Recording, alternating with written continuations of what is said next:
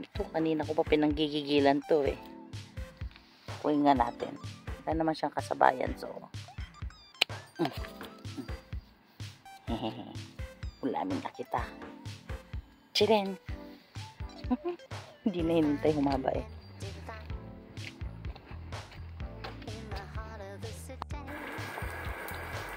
Friends, na ganyan fresh.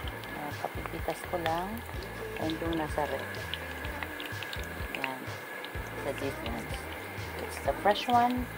And that's from the fridge.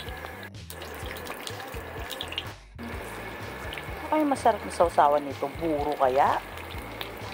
O yung alamang na may liempo. Hmm.